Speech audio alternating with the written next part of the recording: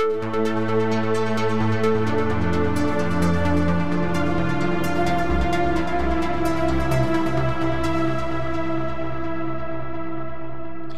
and welcome to the Sensibly Speaking podcast. This is Chris Shelton, the critical thinker at large, coming at you on iTunes, Stitcher, Google Play, and with video here on YouTube.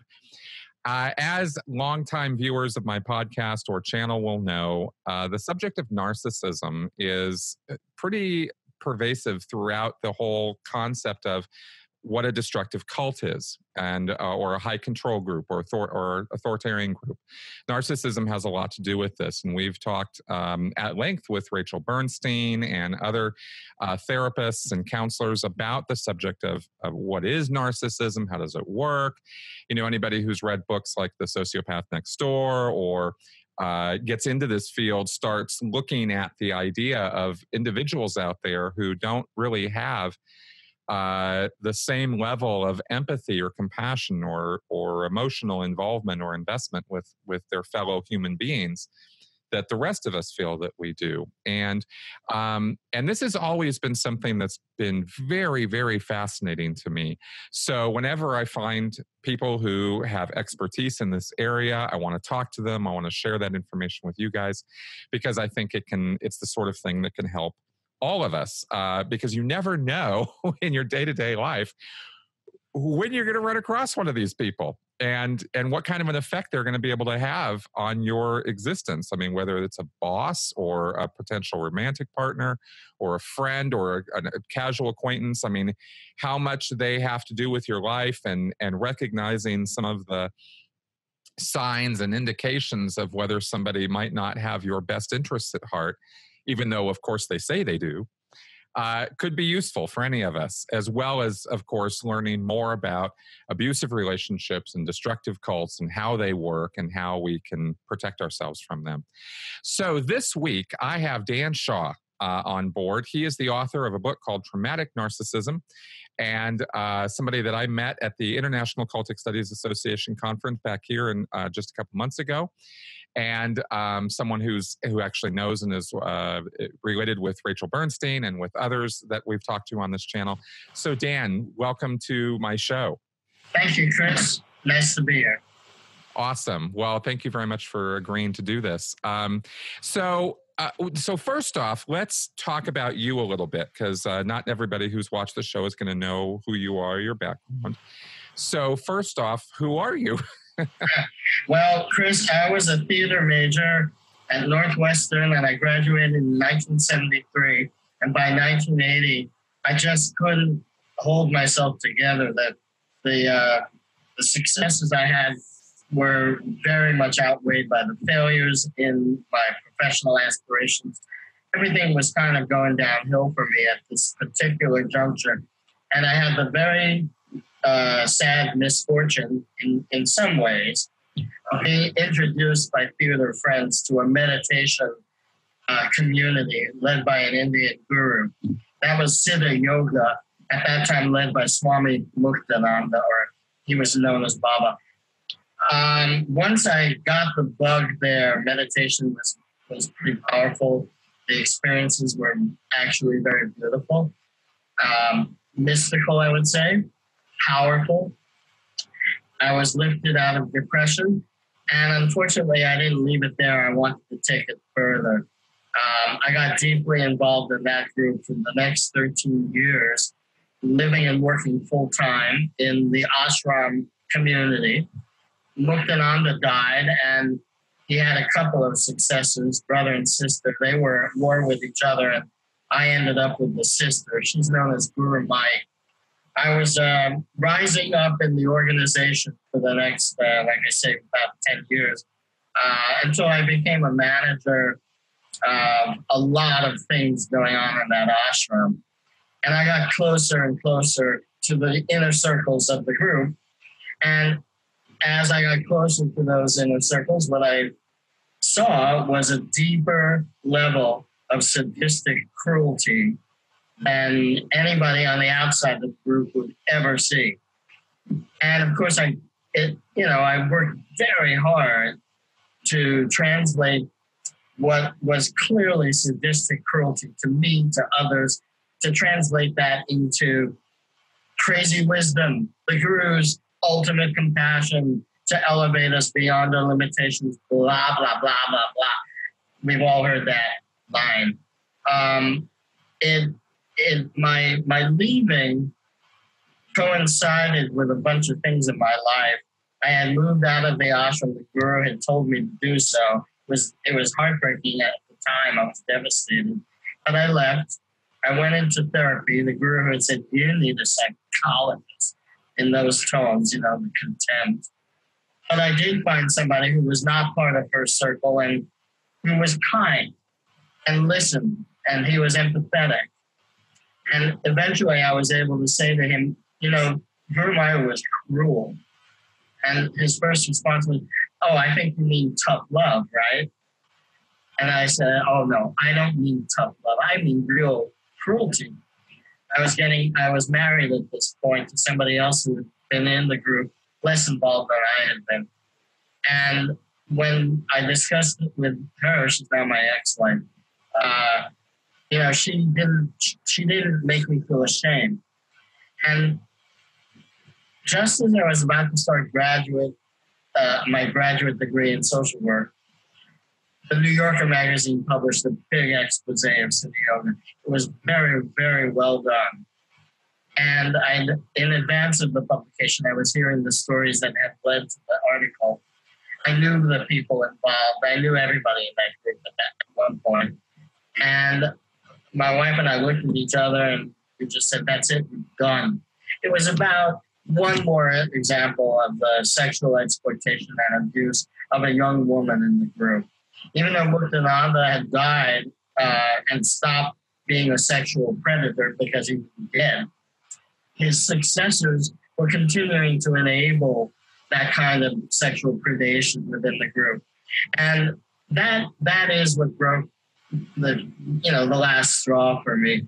Um, I did leave. I was pursuing my master's degree in social work, and I was very much involved with a group of others who left Siddha Yoga.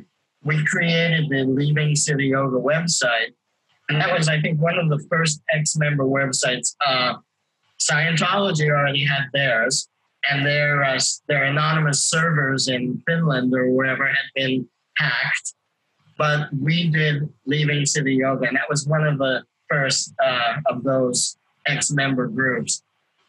So we shared information and we vented and we told all the stories, revealed all the lies and all the secrets. It was awesome.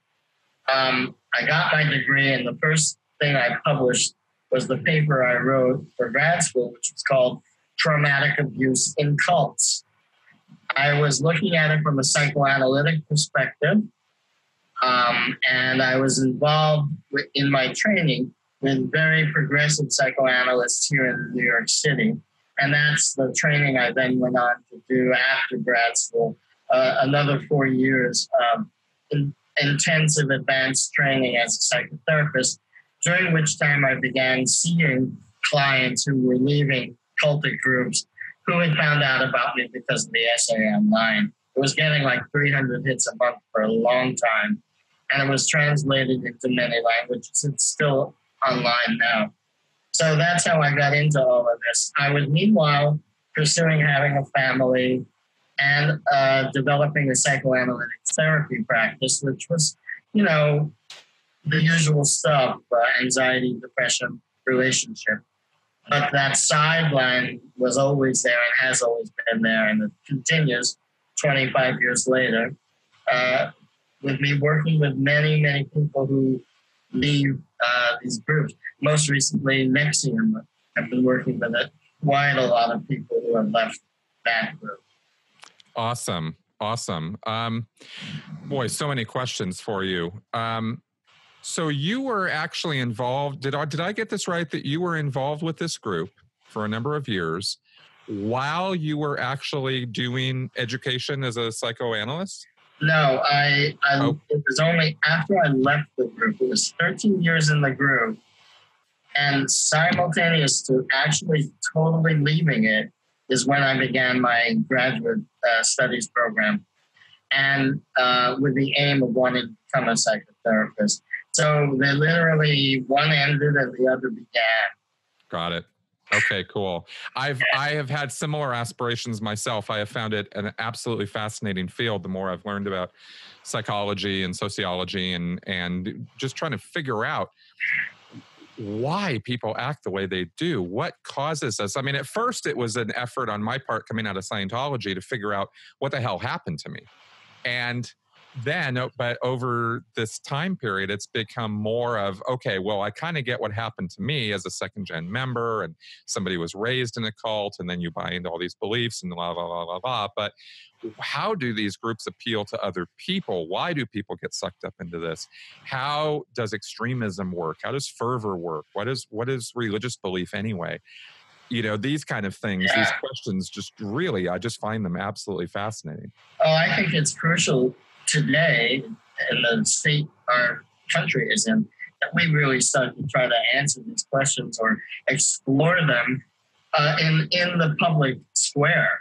People need to start to be thinking about this because it's much more pervasive than just a few kooky cults out there that everybody can look at and say, "Oh, that's not me." Well, I think that's a big problem. Is that people think cults are something that would never happen to them I, I happen to think differently. I think it's easy to happen to people, even the smartest, you know, the most cynical. I, I was smart. I was cynical. Happened to me. I turned down a lot of. Uh, I turned down a lot of recruiting before I got into the one I was in. I, I, I, turned down Est. I turned down other gurus. I, I told my friends, get the hell out of here. This this is not anything I ever want to have anything to do with. And uh, sure enough, I became vulnerable at a certain point. So, yeah, I think we need to know the, the answers to those questions. And like you, Chris, I began thinking about it because I wanted to ask myself what the hell happened to me. But, you know, at a certain point, I thought to myself, and I can't really say exactly when this happened or how, but I thought to myself, wait a minute, why am I completely horrified and ashamed about myself for having fallen for this, for having gotten scammed in this way. Why isn't the guru the one who's ashamed? Why, why am I the one who's ashamed? And as I thought about that, I thought, oh, you know why? Because these guys, these leaders, these men and women who lead these abusive groups, they have no shame. And then I thought to myself, well, why don't they have any shame? What's that about? Everybody has shame, more or less, you know. Sometimes too much. I felt like I was having too much about my cult experience. Why don't they have it? That's what led me to narcissism as an explanatory framework for how to understand the psychology of the cult leader. And at a certain point, just like you, I was like, yeah, I get it. I understand why I was vulnerable. I understand my family dynamics. I understand societal dynamics. I understand all kinds of stuff. I understand my psychology because I was in therapy like, you know, forever. But but what people had not talked about was the psychology of the cult leader. Not much anyway. There's information out there. But I wanted to really amplify that idea and, and try to nail it down. And, and that's how I ended up spending 20 years thinking about the issue and finally coming out with the book traumatic narcissism, relational systems of subjugation. Because what I understood was that these people have a particular, absolutely compelling need to subjugate other people. And that's what I wanted to understand and i and i really want to dive all the way into that because i want to understand it as well. There has been an idea in my head um, for lack of understanding, you know, causal agents in regards to this yeah. um, that they simply exist that there's a that there's a certain percentage of the population. We don't know exactly what that percentage might be at least i don't off the top of my head. I'm curious what you think because uh, you mentioned that it's probably more pervasive than people think i agree with you on that um, but i've wondered is it just something that they're is it is somebody born that way? Is it nature? Is it nurture? Is it a combination? How does this happen to somebody? You know, we talk about it in terms of sociopathy, where somebody can't empathize. We have narcissism, where somebody is completely self-obsessed, or is you know they cannot view the world through any other lens than their own. Now, we all can't view the world through any other lens than our own, but a narcissist doesn't seem to have any awareness that other people exist in any way except in some fashion to serve them or be their puppets or something or to somehow if they if you don't contribute in some significant fashion to my life you don't even exist you're useless and and and why would i even you know spend any time thinking about you seems to be some of where narcissists come from so what are you what's what's been your take on all this well look here's here's what i've been thinking about and trying to pull together in a way that makes sense to other people. And um, here's what came. Here's how. Here's what I've come up with in a in a nutshell. Of course, you know I wrote a whole book about it, so I've elaborated it pretty extensively in the in what I've written. But I think it's I think it's not so uh, hard to grasp. I first of all, I think all of us are a product of nature and nurture. There's never not a combination.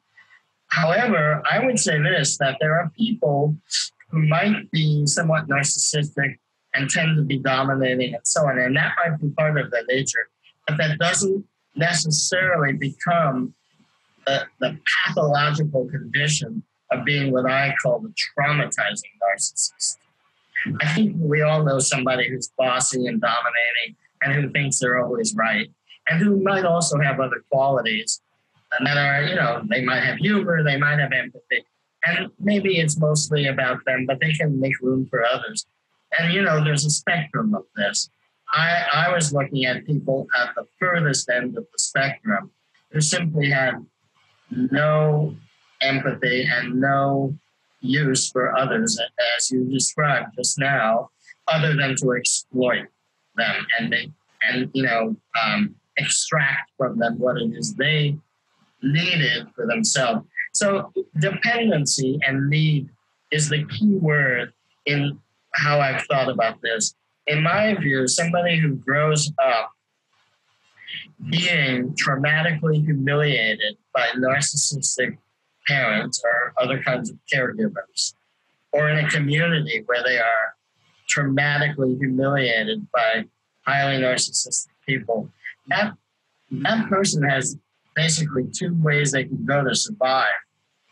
One is to just submit altogether as a means of surviving, being basically um, subjugated from the get go not not given the right to have their own separate identity as their own valid kind of human being. That's one way to go, submission. The other way to go is to identify with the narcissist, to identify with the aggressor, and do unto others exactly what's being done unto them. That is to look to, to seek to subjugate and control, dominate and exploit others.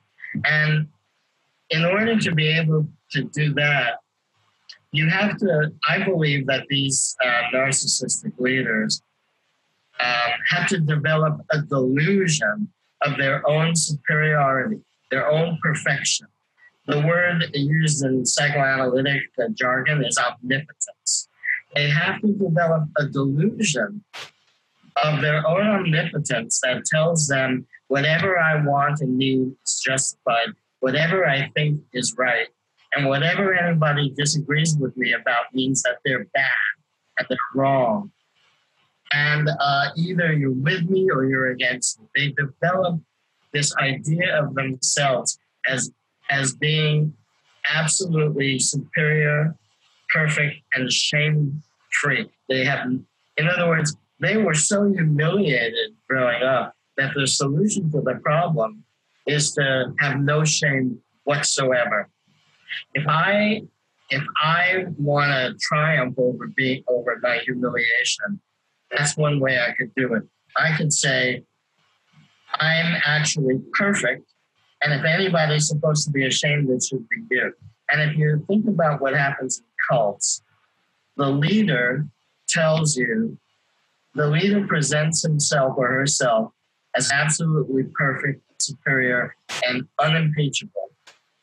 And it's the followers who have to constantly feel ashamed of their inadequacy and therefore more willing to submit themselves, more willing to let themselves be exploited. And that is how that leader maintains control over the followers. This can happen in one on one relationship or groups of any size. In cults, the group gets bigger and the leader's aims become more messianic. Uh, the leader says, I'm going to stop world hunger. I'm going to clear the planet. I'm going to bring meditation to everyone, and that's going to bring about world peace. These messianic aims are what these leaders believe they're capable of doing, um, except all they're actually really doing is trying to inflate themselves and prove their own omnipotence. So we come into these groups, we hear all these messianic aims. We think, yeah, I'm inspired. I want to be part of it.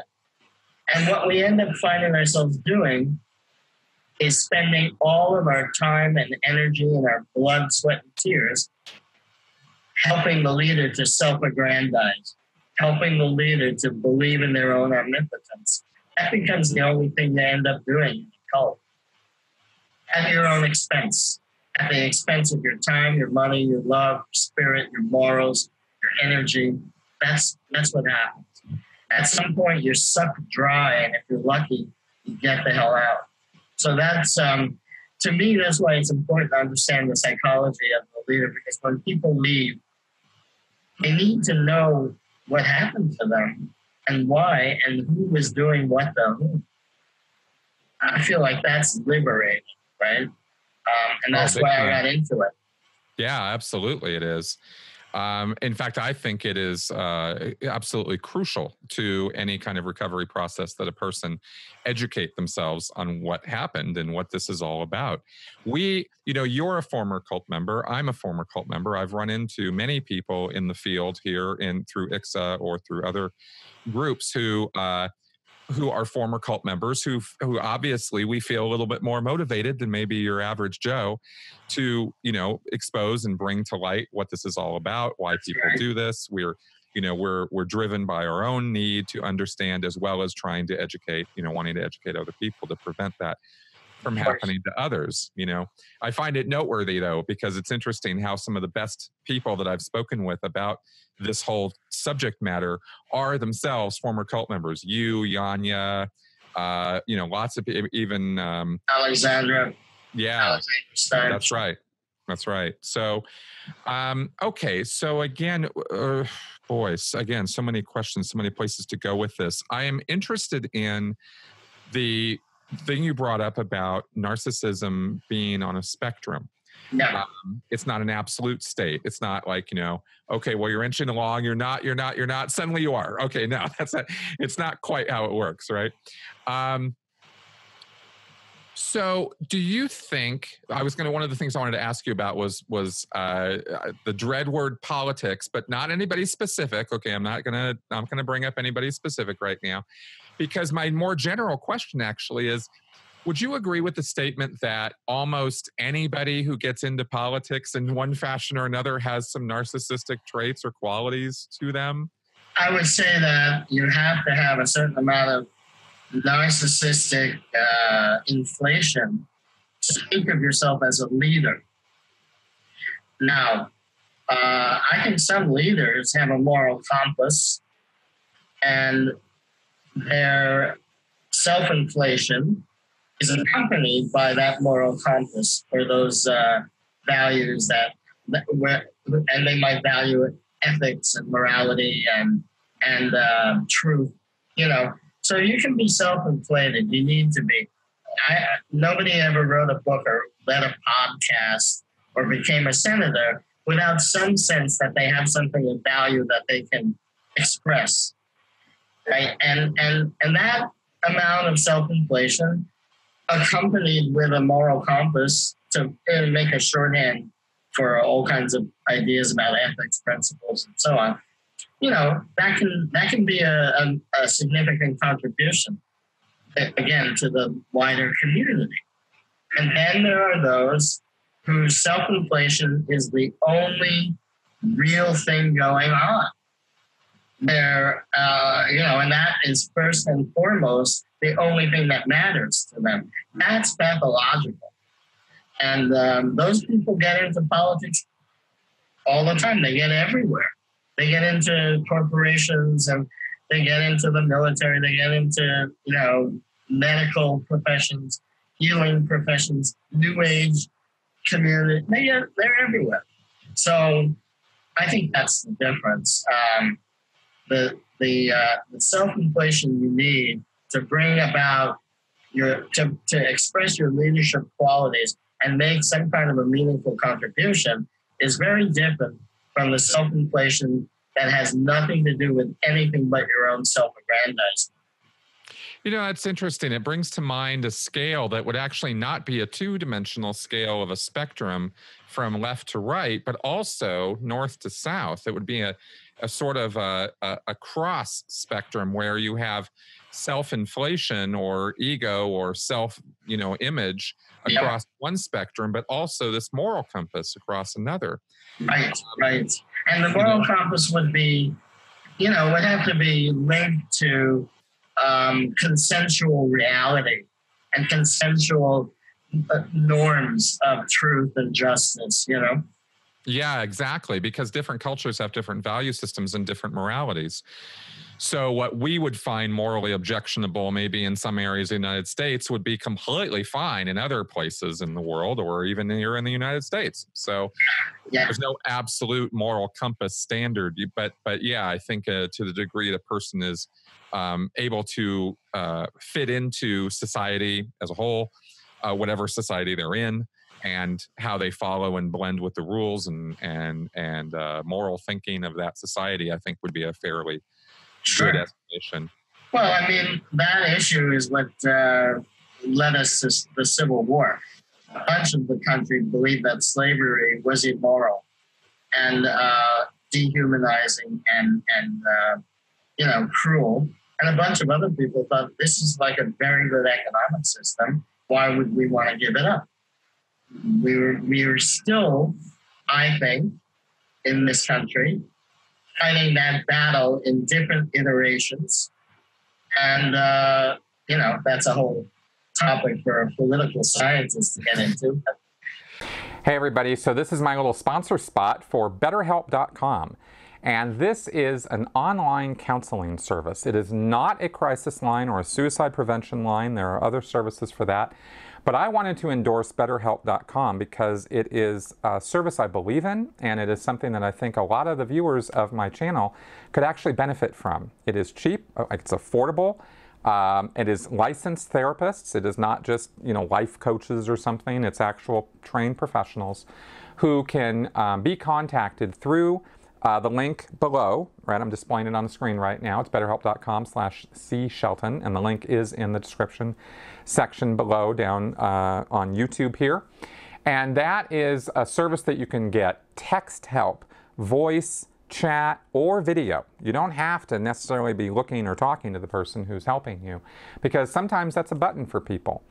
Uh, also, if you get, you know, within 24 hours, you'll get hooked up with a counselor. If that person's not doing it for you, you can get somebody else. If you can't, you know, the, the fees are like 35 to 65 a month or a week for the service. Pretty cheap, pretty good, affordable service. I really don't know how they do it actually. Um, I'm, I'm, amazed by it, but it's, uh, but it's something that does actually help people. My wife Melissa has actually used the service and gotten a lot from it. Uh, and there is financial aid for people who uh, can't, you know, maybe make even those payments. So give it a shot. Check out the link. Fill out the survey. You know, give it a go. See if it helps. I think that um, that getting that kind of help is something all of us need sometimes. I've spent, uh, you know, I've really leaned on my friends and family over the years, but sometimes friends and family aren't really the right person to talk to, and uh, and using a service like this might be exactly what you need. So again, check out the link below and uh, BetterHelp.com. well, no, but it does actually bring up this idea of of the moral relativism of the of the issue, and it's something I uh, let me ask you about this now. So, because you have people, okay, let's say let's let's just take this as a sort of an a, a, an example. Um, you have people in the South at the time. We're talking about Civil War time, not now. Um, agrarian economy. This was their. This was these were human. Their quote unquote human resources. To be you know very very uh, stark about describing this. I mean, we're talking about slavery. It was completely unacceptable behavior. But they looked at it as well, this is what's putting food on my table. This is what's feeding my kids. This is what's allowing me to have a living of any kind whatsoever. So if you're going to take that away from me, you're literally sentencing me to death, was sort of their moral view of, of how they had rationalized this entire thing. Sure. Um, it, very morally objectionable, of course. There's nothing good about that. But at the same time, if you kind of put yourself in their shoes, you can kind of see, okay, well, I kind of get at least where they were sort of coming from. It wasn't, you know, just all uh, coming from this place of I, I, I get pleasure from subjugating my fellow human being, and so that's that's why we're going to have a civil war now. I think you know there were other reasons. Yeah. Which leads me to this question in a cultic situation or in one of these high control groups, you have the membership, let's say Scientologists, who absolutely believe they have bought into the party line that that David Miscavige or L. Ron Hubbard has their best interests at heart. They're they're a couple of great guys. They're they're world leaders. They're high class intellectuals. They're brilliant thinkers. I mean, this is what Scientologists think, right? Yes. I certainly what yes. I used to think. Yeah how do you tell the difference maybe first objectively as a as a third party and then let's talk about if you're actually involved in a group.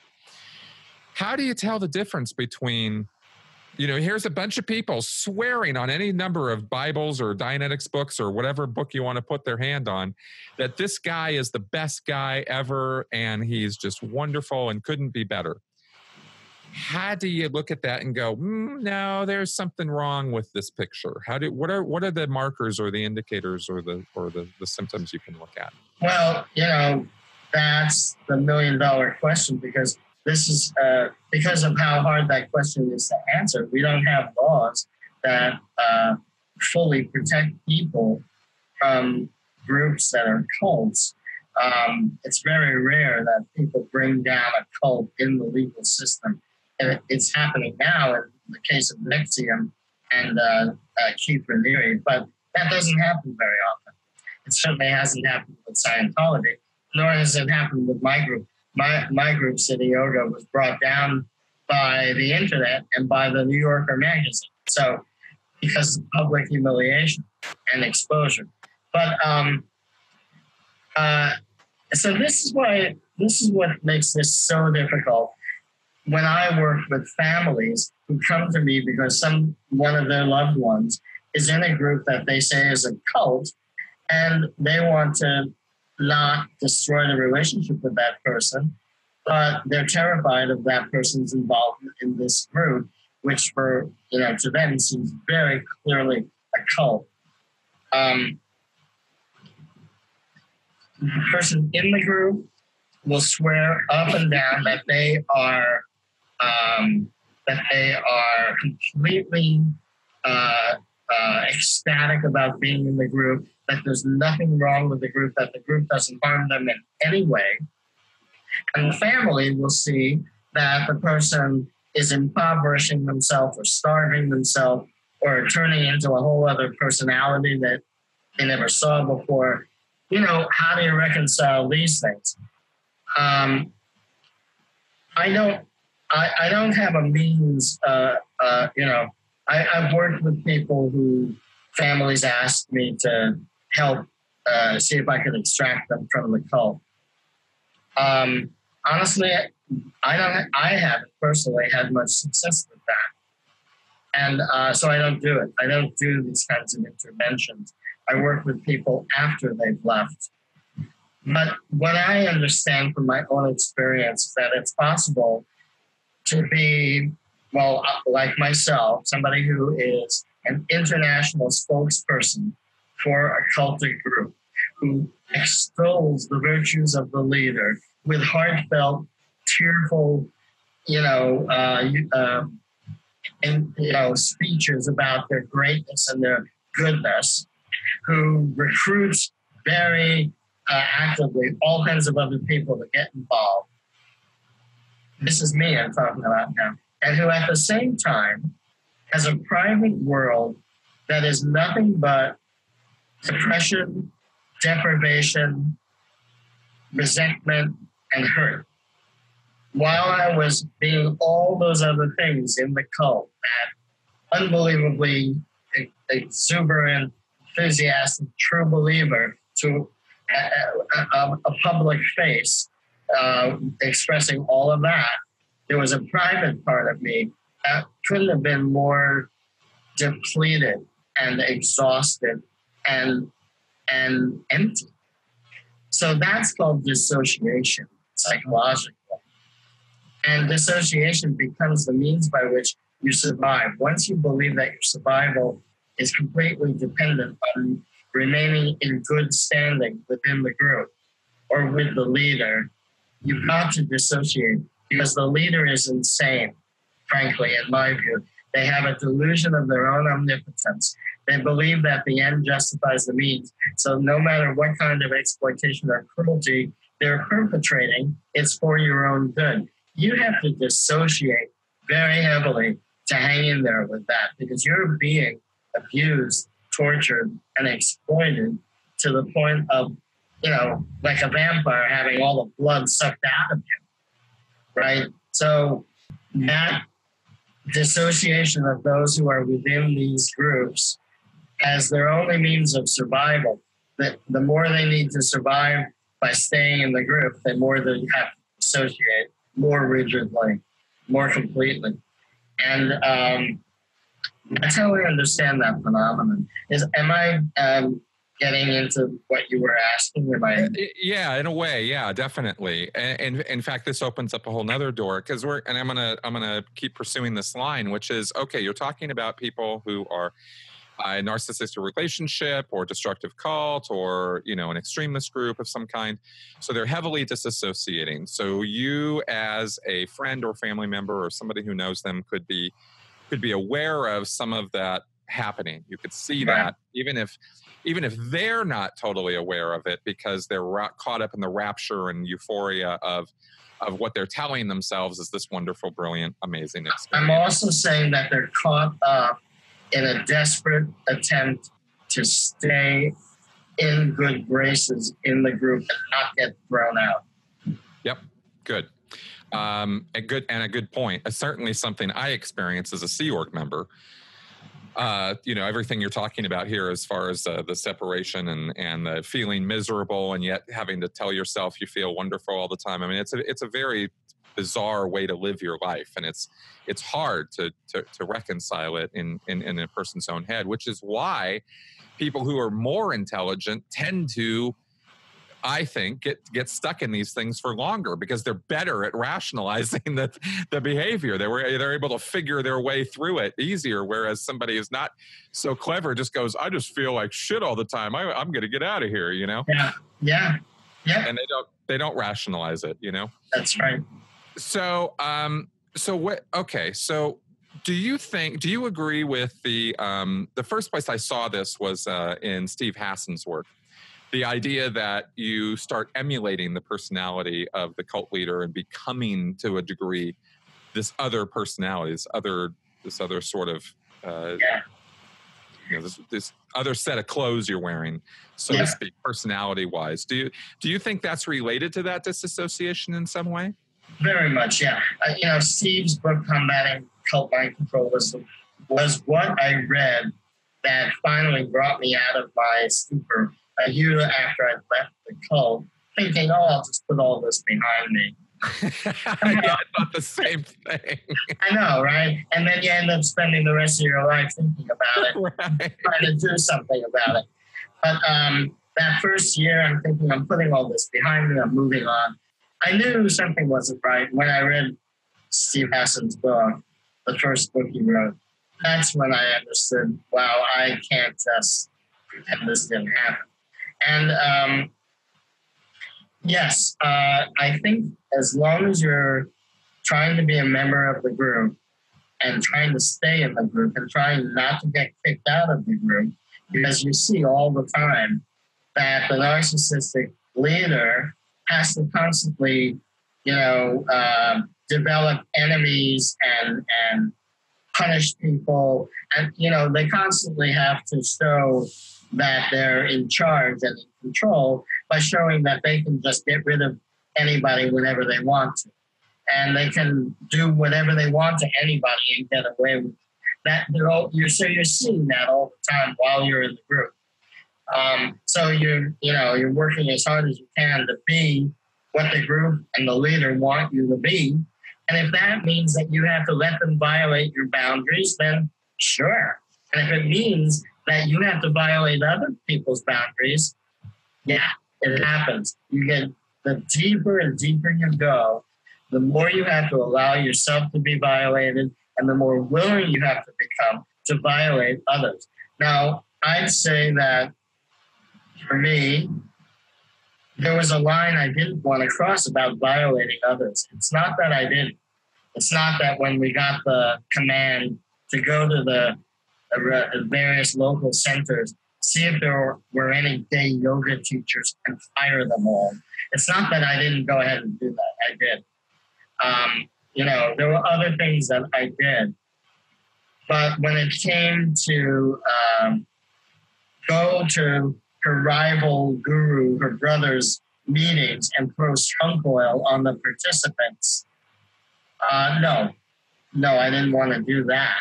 You know, so at a certain point, when you're in that position, when you're deep in, where okay, you've allowed your own boundaries to be violated, but now you have to violate other people's boundaries. Um, some people will will go all the way in that direction, and luckily, some of us, like myself and, and yourself, anybody who leaves, I think, has made that decision. I'm not gonna. I can't go that far. This isn't worth it. Something's wrong. Right. You're right. Well, for sure, and it's it, it is an interesting thing how you know looking at that and looking how far how far can somebody be pushed, how fast can they be pushed, um, everybody's different. Everybody's kind of their own individual. They have their own background experience education etc and yet yeah. you know enough of us can be pushed hard enough fast enough that we end up you know this is where you get into um, extremist behavior and even radicalization. And i have said that i wasn't beyond being radicalized for scientology if somebody there were certain points along the line where if somebody had suggested that maybe somebody's ass needed kicking because they were an enemy of Scientology, I might have very willingly participated sure. in that.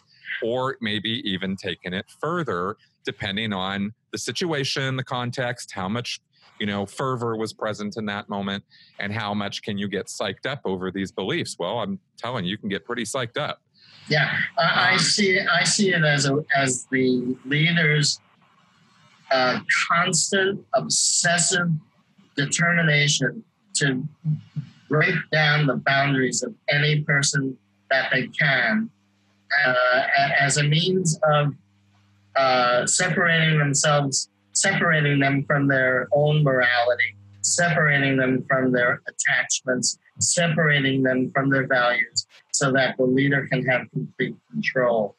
And by the way, I don't I almost anybody that I've talked to who is as deep in as I was with you, or uh, and all the others I've spoken to, will have said at one point to themselves, if somebody were trying to aim a bullet at the leader, I would want to step in front of them. Yep, that's exactly right. Exactly. Which leads me to the question. Um, so we have this concept of a spectrum of, of narcissistic behavior, let's say. So this kind of lends itself to the idea that people can move on this spectrum.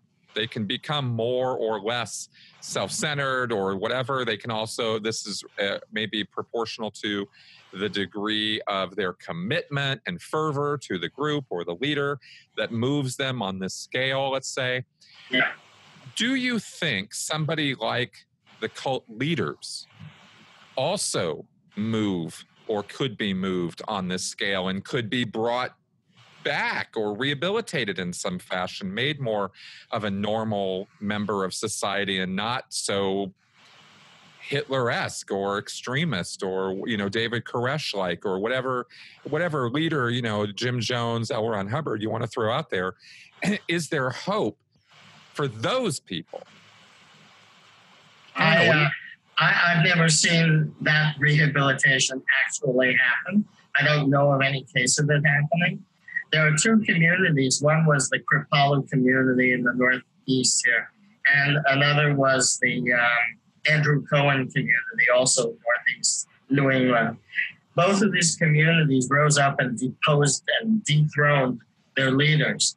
Uh, Swami, uh, somebody, I'm forgetting his name in Kripalu, uh, Amrit Desai, I think was his name, and uh, and Andrew Cohen in his group. Both of those communities got rid of those leaders. Both of those leaders came back claiming they had been rehabilitated. I don't buy it. Um, you know, it's not that I don't have, you know, mercy uh, and want to forgive or, or want to let people rehabilitate. Plenty of people I could um, I could have that kind of uh, compassion about. But these folks, uh, I just don't see how they regain trust. You know, if they were to uh, be imprisoned, would would they, like some of Manson's followers, for example, uh, or some of the Brinks robbery people that were part of that whole uh, Black Panther group, uh, those people in prison seem to have rehabilitated themselves. They have uh, become advocates for other prisoners. They've uh, helped create libraries or helped develop educational opportunities for other prisoners. They use their intelligence and their skills for good in the prison system. But these guys, when they go to prison, that doesn't happen. Often, what happens is that they go out of their minds. They become completely delusional and hallucinatory, and sometimes kill themselves. Mm. And uh, and that's what I have seen in many of the cases of leaders who have been exposed or or uh, you know brought into the criminal justice system. Not that they rehabilitate, but that they go either they really go fully insane or they commit suicide. That is interesting. That is very interesting. Hubbard himself had medical conditions, had strokes. Apparently, uh, you know, at the end of days was was a pretty. His last eight days or something were were just buried in dysphagia. Um, but that was him. I mean, that was a kind of a unique circumstance. He wasn't in prison. He was just kind of right. by himself. Um, I don't know what would happen to David Miscavige if you were to isolate him and throw him into a jail cell or something, but I imagine it wouldn't be pretty. I think the narcissism of these, at this level of narcissism, of this, you know, level of like a national leader or a cult leader, um, you know, Hitler committed suicide as well. At this level of narcissism, I think that um, the uh, the delusion includes the idea of immortality. Yeah. Right. Um, and and uh, and in fact, they are mortal and they are going to die. So um, you know, I think facing death for these folks is the ultimate humiliation, or facing uh, total exposure and and imprisonment, ultimate humiliation uh, unless they see a path for maintaining control, they go nuts. Manson went completely insane in prison, um, or they kill themselves. This is what I. That actually, that that's actually very interesting. It, it it brings to mind so many ideas or theories here about control, their ability, their their necessity to to control the situation, control the the milieu, so to speak, that you know ha- all the people in their world. I mean, David Miscavige, as an example, is someone who maintains utter control of his entire environment. And if exactly. he can't have that control, he won't go there. He won't go be interviewed by, say, a, a media source, mainstream media or something. His world is entirely controlled. Yes. And uh, one Yes. wonders if there isn't, this, this brings to mind the idea that maybe on this scale we're talking about, there's some point of no return. There's a place you get to, whether it's when you're eight years old or 18 or 80, I don't know, but at some point, there might be a place where you've simply crossed a line that you cannot return from as a narcissist. I, I think that's right, Chris. Interesting. Very interesting.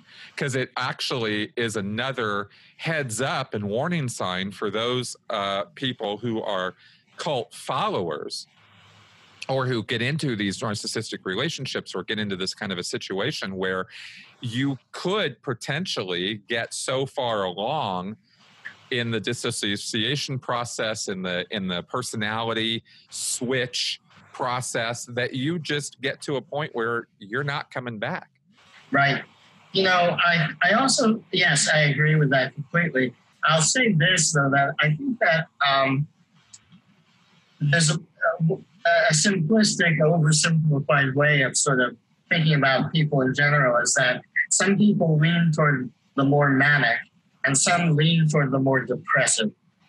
And I think that those who might lean more toward the manic might be the ones who might go uh, beyond the pale, just go too far down that line to be able to come back. Whereas I think it's often the depressives uh, that who are the ones who leave. Um, uh, you know, it takes one to know one. Okay, so um, uh, uh, uh, yeah, well, you know, that's what I was dealing with too, and um, and I think there's something about being more on the depressive, less on the manic scale that that sort of says, uh, you know, I can't fully um, devoid myself of, of, you know, the kinds of human emotions that it, that tend to evoke empathy or sympathy or or kindness. You know, um, a manic person could go pretty far in justifying that any means is justified by the end. Yes, for sure. Uh, huh. Well, you know, it is, it, there are lots of models that oversimplify things And in our effort to understand how some of this stuff works, because there are a lot of nuanced factors involved in people's behavior and psychology. Yeah. But, but these models are useful. And I, I wanted to ask, you know, is there, we spend a lot of time, former cult members or people in general, cult watchers even, they get fascinated by this stuff, looking at um, why do people act this way? What drives these guys? How do people fall for cults in the first place? What is it with these leaders? How come they're so raw? Beyond the the sort of looky loo aspect of that, do you think there's actually a use for really digging in and understanding this stuff? Like where where do we how how practical is this? Well, here's the thing. Um, I think we have to be a little bit humble because we we almost never get to interview uh, psychologically get a valid interview out of a cult leader. It's not, I don't think it's ever happened, right? And um, and you know, yeah, people in jail get interviewed and psychologically diagnosed as psychopaths or this or that. But if they're not in jail, nobody's sitting down and getting a real diagnostic picture of what makes this person tick. So the best we can come up with, this is how I've gathered my information from myself, from my own experiences, from the experiences of fellow peers who have also uh, been involved in cults, left cults, from colleagues who work with people who have left cults, and from all the people I've worked with as a psychotherapist who were either in a cult or in a narcissistic relationship, and gathering information from their descriptions, their accounts, their experiences is what has led me to formulate ideas about how to understand these people, why they are the way they are, and how to understand those who follow them. And we do our best to generate ideas about this because we need to, as human beings, we need to, uh, we have a, a, a, deep motivational drive to make meaning, to make to make sense out of things, for things to have meaning. And so, to the extent that these ideas and theories and models and formulations help generate meaning and understanding, I think that they're useful. They uh, they are necessarily limited by the extent to which we can take information. But you know, over 25 years, I took a lot of information and yeah. I put it into my book. And it's the best I can come up with to formulate what makes sense to me and what has made sense to many others. Oh, it makes sense. Uh, duh. So um, but also, you know, a, a, real valid comment on this and an important point for people to know is, I mean, I just thought about, okay, well, what if I wanted to go do a case study or, uh, uh, you know, uh, write a book about cult leaders, and I was going to go out there and I was going to interview a bunch of cult leaders. Well, guess what? they don't want to be interviewed by people like us. They're not going to give us that access. David Miscavige is not going to just voluntarily open the door. The last time he did that was like 1998. Uh, you know, these guys are not big on going out and talking to the press. And in fact, right. internally, they often deride the media as some kind of a conspiracy against and against themselves. And oh. they paint this big picture to their followers to justify why they have to be so controlling. You know, when Gurumayi in Siddha Yoga knew that the New Yorker was going to write uh, expose, she got all of the people in India that she that she thought were, you know, half, had half a brain, to be trained in long distance Reiki, to, and to sit in the meditation cave uh, on shifts, doing long distance Reiki on the author of the New Yorker piece, Lis Harris, so that she wouldn't write it. Then they sent people into the New Yorker offices to try to steal files Lis Harris, uh, uh, Tina Brown was the editor then. She hired bodyguards for Lis Harris when the article came out. They were able to get one of the advertisers to pull ads from the New Yorker. And when the when the uh, issue hit the newsstands in November of 1994, devotees all over the world bought every single copy they could Many of them came to the ashram in South Fallsburg, New York, where those copies of that magazine were thrown into a ceremonial um, Brahmin fire pit. And if you go into any library anywhere in the world and you find that issue of the New Yorker, chances are that article will have been ripped out of it. So that's how far, in one example, people will go, you know, to discredit the media. Uh, we're seeing a great deal of that now in the public square. The media being called the enemy of the people. Nothing could be more indicative of the red alert for authoritarianism and making the media the enemy of the people. I agree completely. It is, and, and having been in the mindset where I thought it was entirely justified and completely the rational, moral move to go into the library, take the anti Scientology books, go to the bookstore, steal them off the shelves. I mean, whatever it took. Right. This this kind of end justifies the means kind of thinking is dangerous, and Super. it is so easy to rationalize this stuff when you think you're on the side of right. Yep. You know, you can justify anything, and it's it's a real it's a real heads up when you come to your senses about that one day and go, holy shit, what the hell am I doing? You know? For sure. For sure. Now, okay, well, there's one last thing I wanted to ask you about here um, that I think is actually something that really confuses people, and it certainly has confused me. And that is, um, you know, how is it that these people, these narcissists, these these these leaders, these these kind of people, how do they have such charisma? I mean, L. Ron Hubbard is derided, rightly so, in many of his photos as bad teeth, bad hair, not very good looking guy.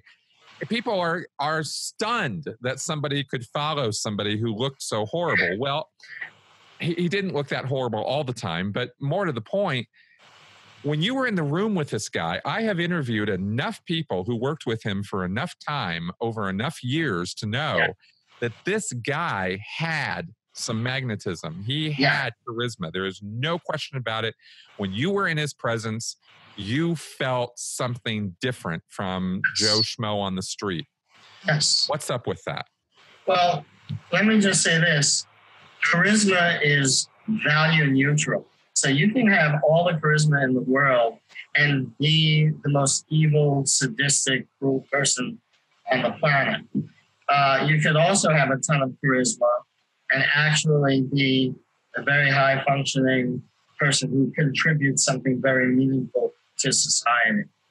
Um, you can have great artistic talent and be uh, a sadistic monster to your own children. There couldn't be more examples of that. Uh, you know, Sal- J.D. Salinger, Eugene O'Neill, to name two, Pablo Picasso, you know, many, many, many such examples. Um, so having charisma or having great genius of some kind or other, including the kind that influences people deeply, has nothing to do with morality, ethics, um, and character.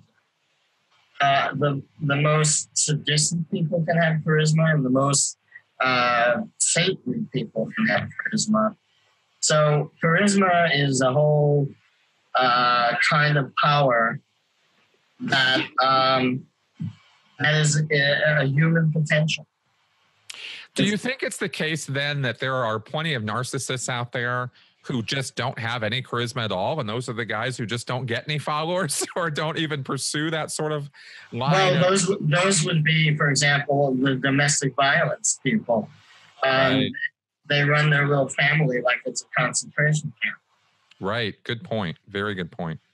Okay. Well, that all makes sense. There is a lot of food for thought here uh, in what we've been discussing. There is a lot of places to go with all of this.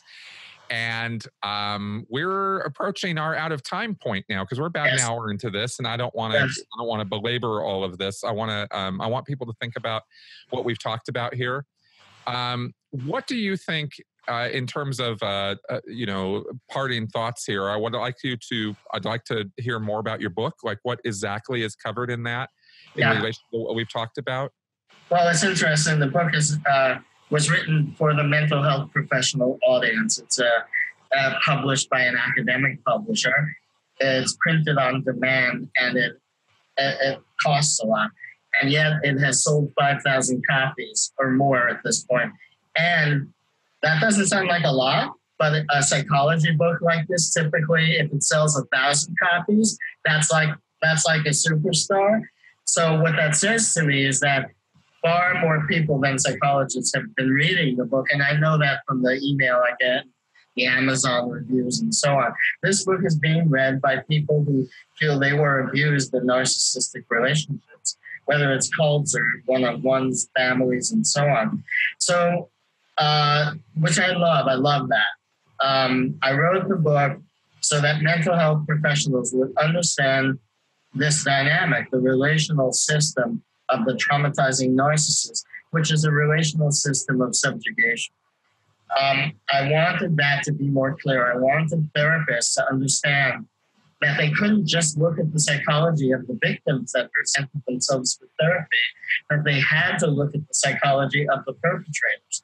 I wanted to, uh, I wanted to educate other therapists more about the importance of helping their uh, trauma survivors in their practices understand how how beneficial it would be for their trauma survivors to understand the psychology of the perpetrators. So I wrote a book that developed a, a theory around narcissism, and then that showed relationships where that kind of dynamic occurred. It occurs in um, cults, it occurs in families, it occurs in couples, it occurs in any professional relationship, including a therapy one on one or therapy groups.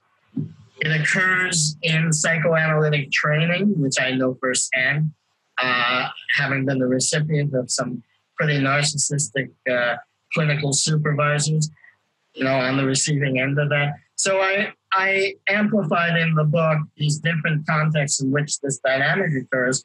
And then I wanted to write about, well, what do I do? what do I do now that I understand all of this? Then what? Because that's everybody's question. That's the question of recovery.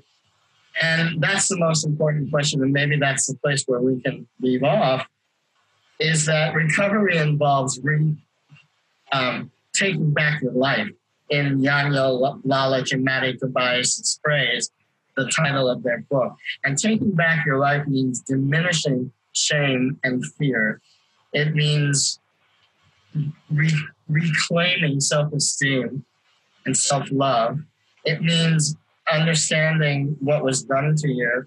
And it means um, it means letting it recede while you go forward to make yourself a good life, a good, strong, healthy life.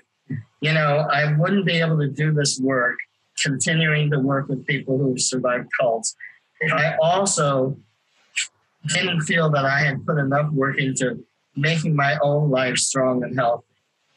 And I see many, many people who leave cults become crusaders and they exhaust themselves or bankrupt themselves or drive themselves crazy.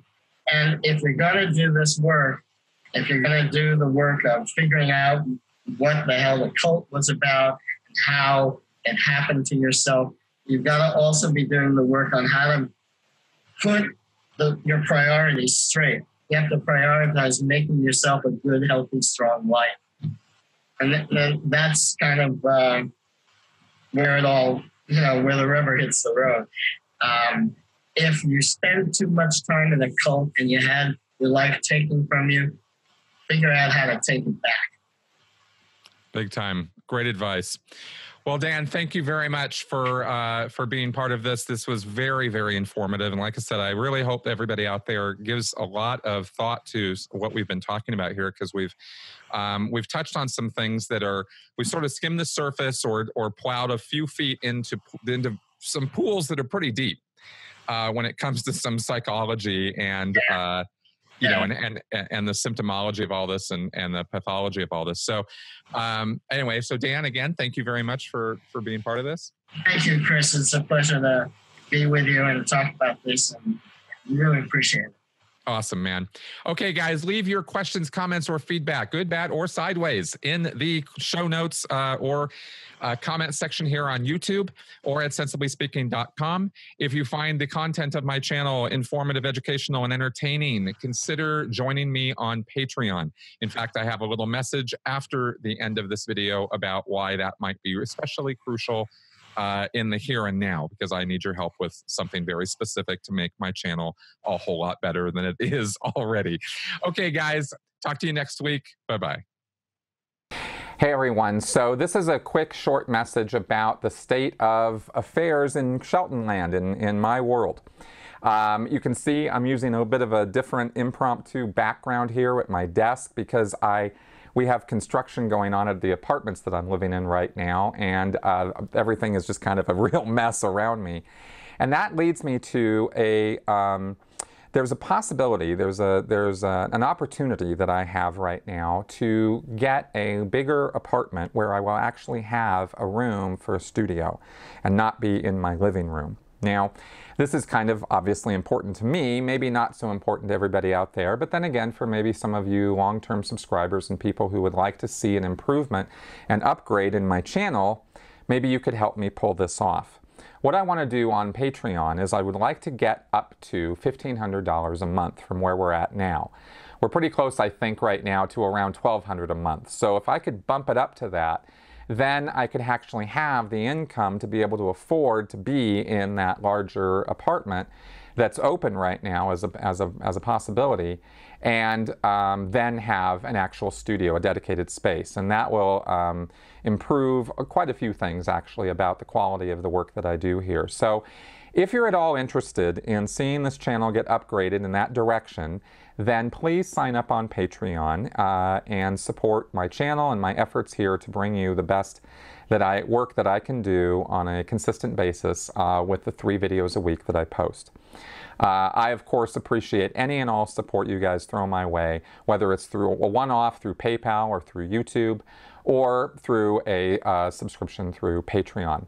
Now, what I can offer you through Patreon in terms of incentive to do this is um, I, and when I first started Patreon, it was I was not doing special content. Uh, I was just saying, hey, look, if you want to back me up, that's the way to do it. But I have since started offering some things uh, to my Patreon supporters only, such as a monthly uh, dedicated Q&A or conversational video that just is between us. It's kind of similar to the live stream Q&As that I do, but it's only for my Patreons and it's only kept there on my Patreon channel for them.